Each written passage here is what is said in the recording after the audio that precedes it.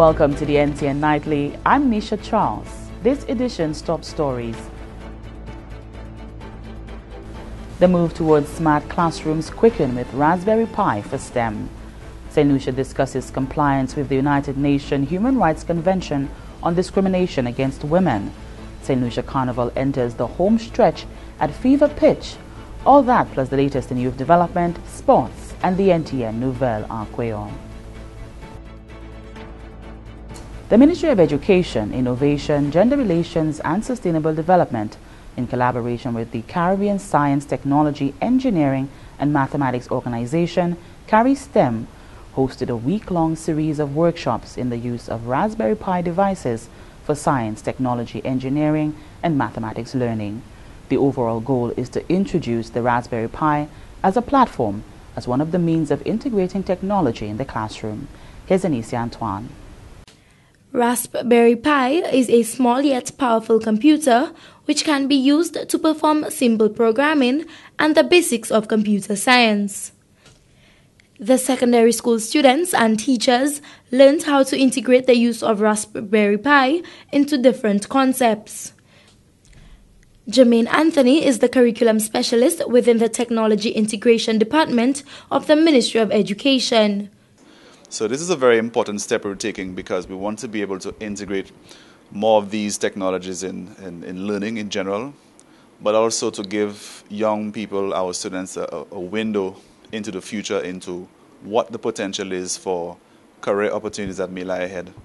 We do know that a lot of the um, jobs, um, careers um, our young students are going to have in the next five, ten years maybe are not even invented yet. This is an age where artificial intelligence, Internet of Things, all of these concepts are becoming more meaningful, more prevalent.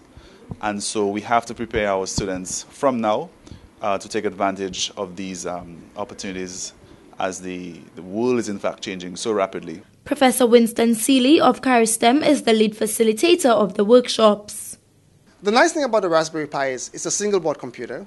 It's inexpensive, um, roughly about 20, 25 US dollars, um, and it captures all the essence of a computer. Um, traditional computers are proprietary in nature, in nature excuse me, um, so it's difficult to capture some of the ports and design stuff around it. With the Raspberry Pi, it's open. Uh, we could design prototypes, uh, we could build on them, we could experiment, etc. Dr. Nicholas St. Hill explained that CARISTEM is a platform for persons and organizations interested in science, technology, engineering, and mathematics STEM within the Caribbean. Well, CARISTEM is mainly about inspiring people, inspiring students and adults actually, to let them know that they can solve problems. That's primarily our objective actually as an organization. We want them to know that they can play. And there is no right and wrong answer in general in engineering and science. That's, that's the goal. Dr. St. Hill expressed his excitement to be able to continuously collaborate with the government of St. Lucia. From the Government Information Service, I am Anicia Antoine reporting. A wide cross-section of St. Lucia's law enforcement and social support agencies recently discussed St. Lucia's compliance with the United Nations Human Rights Convention. The forum was hosted by the Department of Education, Innovation and Gender Relations in collaboration with the Office of the High Commissioner on Human Rights in Barbados. The focus was the Convention on the Elimination of All Forms of Discrimination Against Women.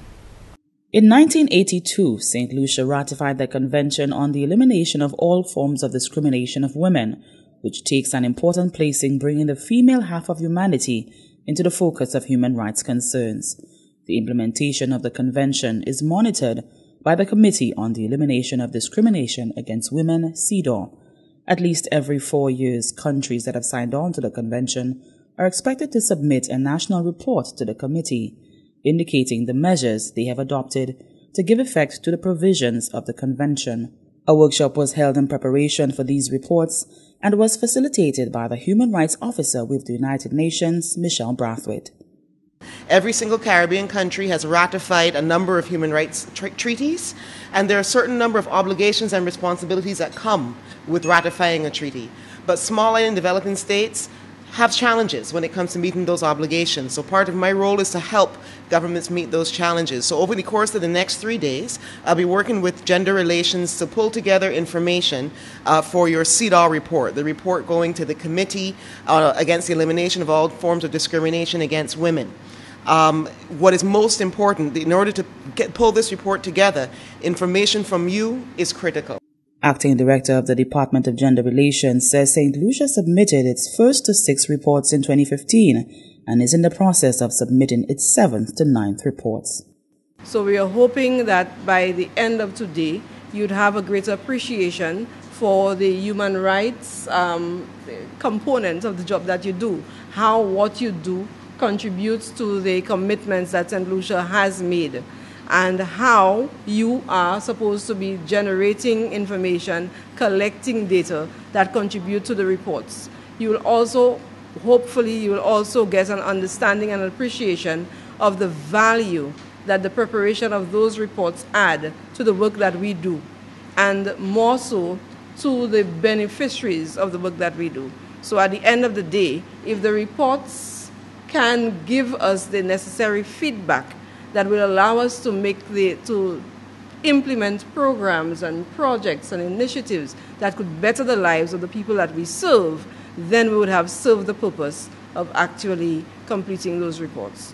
During its annual session, the committee members discussed these reports with the government representatives and explore with them areas of further actions by the specific country. The committee also makes general recommendations on matters concerning the elimination of discrimination against women. CARICOM Chairman, St. Lucia's Prime Minister Honorable Allen Chastanet will in the coming weeks set pace as the region prepares to engage the global community in September at the United Nations on matters of climate change and resilience building. Caribbean leaders will tackle, among other issues, special financial provisions for countries in times of disaster, Considerable stride has already been made in the OECS sub-region in that regard. Janelle Norville has the details. As the region continues efforts to build resilience, the Eastern Caribbean Central Bank, ECCB, has made significant strides in that regard. Speaking on the program ECCB Connects, ECCB Governor Timothy Antoine highlighted the importance of building disaster resilience at various levels so as to include fiscal resilience. The governor indicated that the bank has been advocating for the embedding of disaster link clauses in sovereign debt contracts. He explained the benefits of this action. We have been advocating internationally, we mean in the ECCB, that all debt contracts for small countries, including small states, including those in the ECCU, ought to have in their, in their contract a clause which says if there's a shock, if there's a hurricane, for example, or a major shock, that there will be a standstill on payments to give the country that is impacted the liquidity it needs to begin its recovery in the shortest possible time, and then to resume the payment at a later date. And that date is specified, whether it's one year later, two years later, three years later. The initiative, according to the governor in 2014 2015, was pioneered in Grenada. Antoine stated that the ECCB has already contacted several international entities seeking buy-in. He noted that the next step is widespread adoption, especially by small island states. Through the Paris Club Forum, we made an, a strong advocacy. Canada, uh, as our G7 member, came along and was very supportive, and we commend Canada for that. Canada uses good offices, and we wrote, we, ECCB, wrote to the IMF and World Bank, both the managing director and the president of the World Bank, asking them to work with us on this particular issue. They accepted the challenge, worked with us, and with the International Capital Markets Association came up with a term sheet that can be used in all debt contracts. That's a big advance. The ECCB has also written to the Paris Club urging the club to take the necessary steps for the automation of the embedding of disaster links within sovereign contracts. For the Government Information Service, I am Janelle Norville. And this is the NTN Nightly. Ryan O'Brien is up next.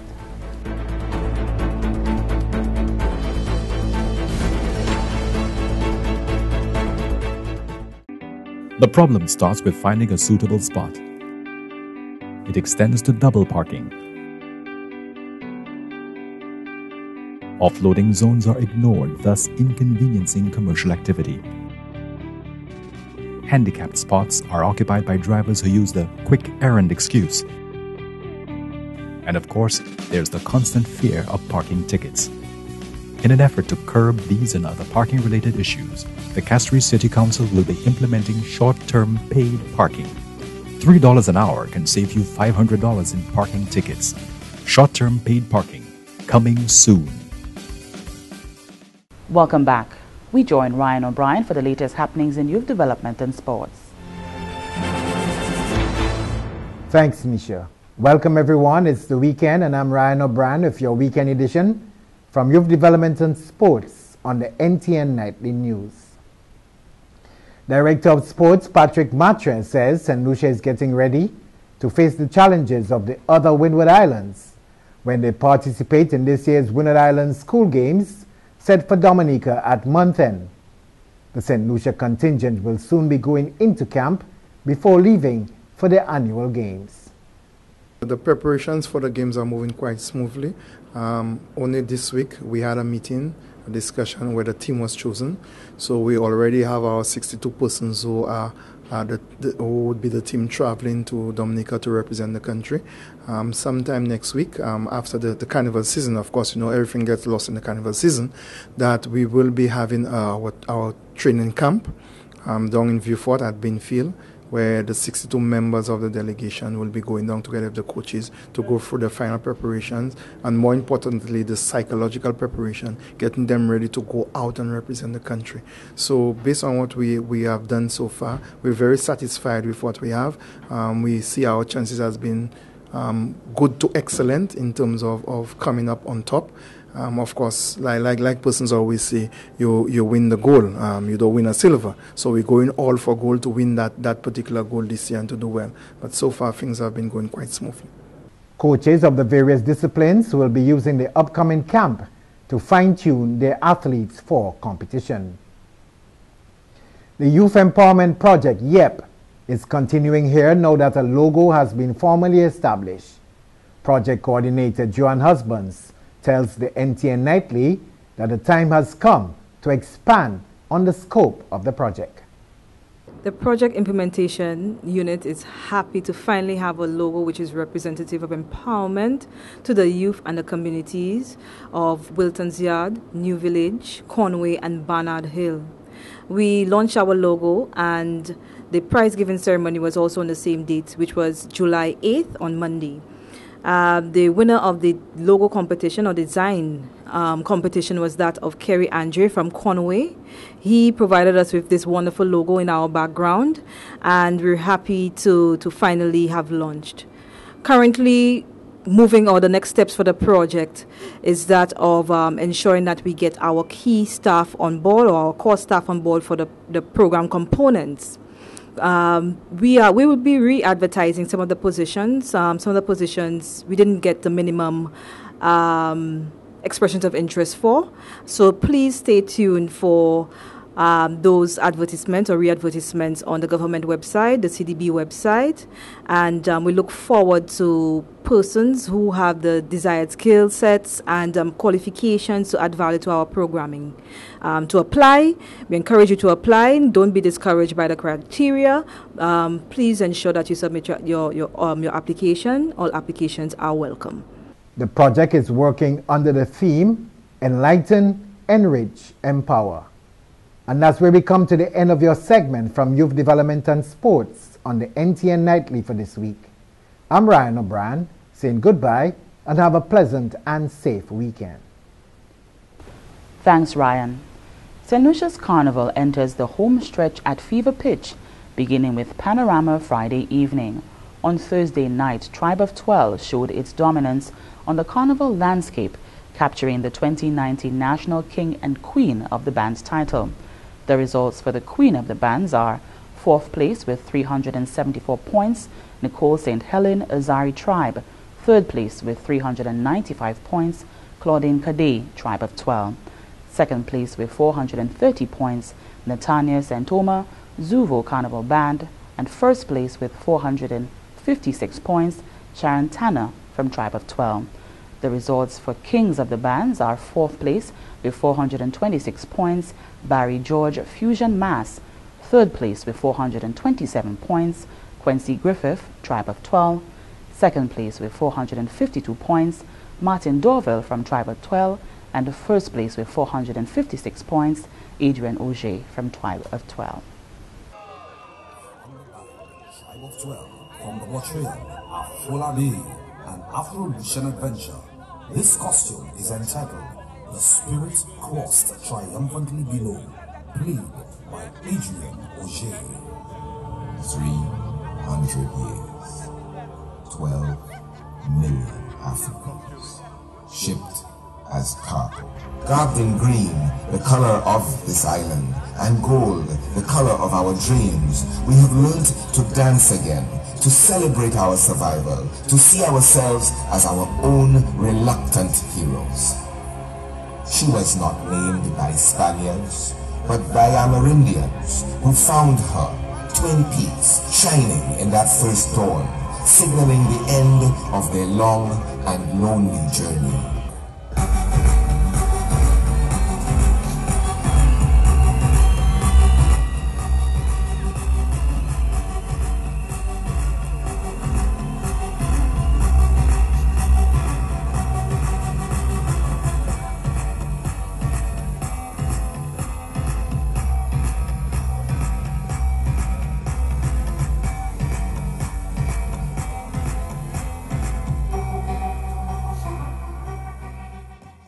And stay with the NTN Nightly. Up next, Primus Hutchinson is here with the NTN Nouvelle Creole.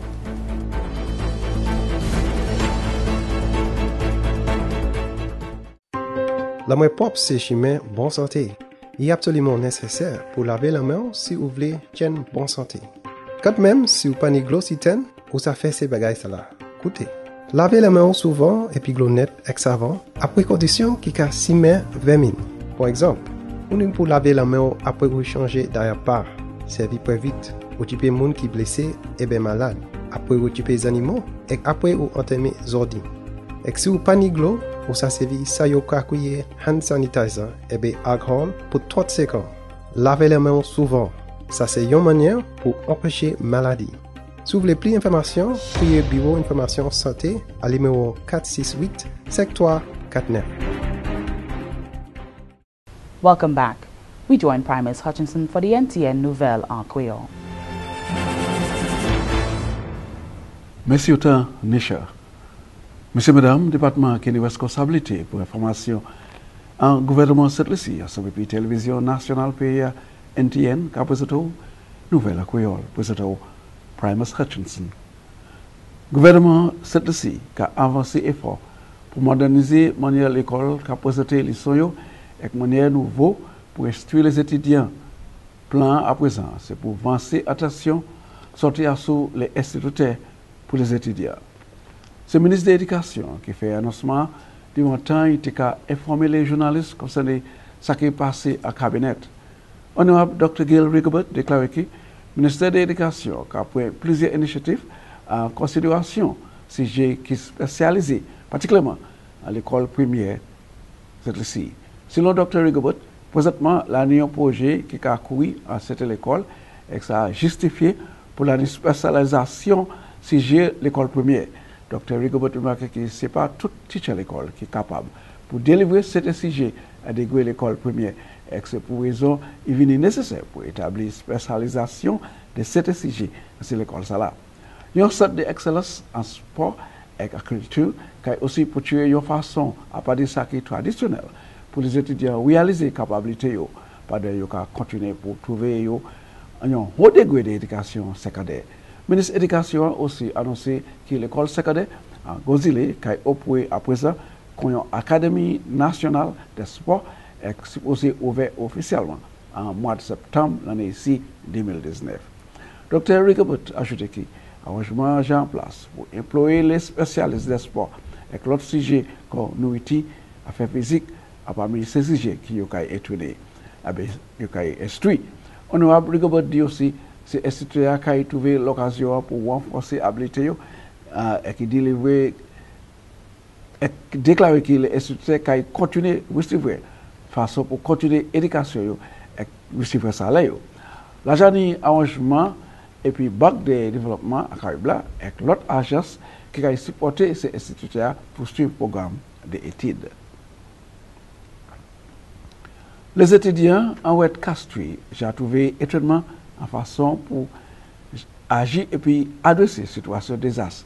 Ça c'est parce que le ministère de l'Éducation a organisé un programme pour une habilité pour réduire ce risque qui est une cause par désastre naturel. Cet étudiant qui était à l'âge de 8 ans pour 10 ans, sorti en plusieurs 8 à Castries. Cet étudiant trouvé étonnamment à son manière pour assister Si yon moun blese, eh ebe, si yon moun toube malade, yon yon dezas. Yo osi te touve l'okasyon pou vizite etablisman nimo pou emande organizasyon ka kondwi operasyon. Ofisye de rechèche an Ministère de Edikasyon, Lindy Eriste, eksplike ki se te yon l'okasyon pou se etidyan opore al ekol yo kon yon ambasade, patikleman an ling dezas ek pou osi la famiyo ek osi komin ki yo ka weste. Selon Eriste, sa kay fè yo pli kapab pou sove la vi, ek popyete diwan yon desas, ek pou osi bati ou rezilyans pou desas naturel.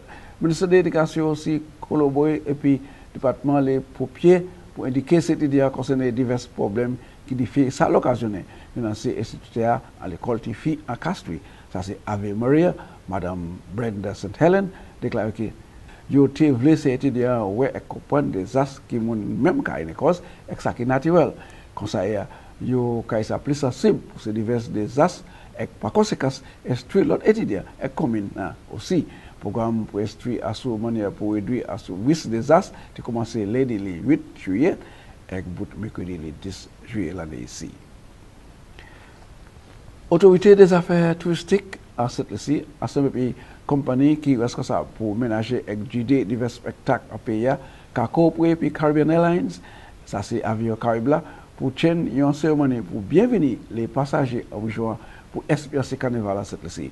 Officier des affaires La Place en Events Company, Lilia Williams note que ça c'est deuxième année que Caribbean Airlines a opéré un avion officiel pour Carnival à cette lessée. Cérémonie bienvenue ni passagers Hot Caribbean Airlines et aussi l'IAT pour SPRC pour Carnival à cette lessée. Place pour faire ces étoiles en juin qui a visité pour Carnival, ni en temps qui est très excité pour que ça changer et pour encourager pour vivre l'année prochaine. Sur mon article pour mercredi, le 11 juillet 2019. Et c'est comme ça nous avons une nouvelle pour aujourd'hui? Nous vous remercie autant pour ce qu'a gardé. Nous avons une invitation pour et puis moi encore, si tu conserver la vie, nous allons poser l'autre nouvelle à Creole. Je souhaite à tout le monde un bon carnaval, un respect, connecté, sans pièces désagrément. À présent, nous allons vous présenter Michel. Messian Pill Primus. And here's a look at what's happening to us weather-wise. Generally cloudy skies with some scattered showers, some of which may be moderate to heavy and isolated thunderstorms. Residents in areas prone to landslides and flooding are asked to remain vigilant. A tropical wave is expected to produce scattered, moderate to heavy showers and isolated thunderstorms mainly over the southern half of the Lesser Antilles during the next 24 hours. Another tropical wave associated with an area of low pressure is located over the central tropical Atlantic, moving westward at about 12 miles per hour or 19 kilometers per hour. This wave has a low chance of developing into a tropical cyclone during the next five days. The tide for Castries is low at present. The tide for Vieux Bay was high at 2:35 p.m. and will be low again at 7:12 p.m. The seas moderate with waves 4 to 6 feet or 1.2 to 1.8 meters. The sun will rise Saturday at 5:42 a.m. And that brings us to the end of the NTN Nightly. Join us next time at 7 p.m. with a repeat at 7 a.m. You can also catch up with us anytime on the St. Lucia Government Facebook page or YouTube channel. I'm Nisha Charles.